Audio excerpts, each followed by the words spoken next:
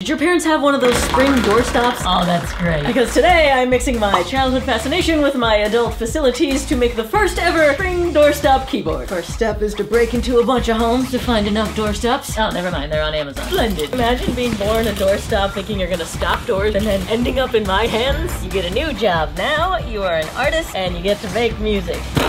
And now for the first ever song on the first ever doorstop keyboard.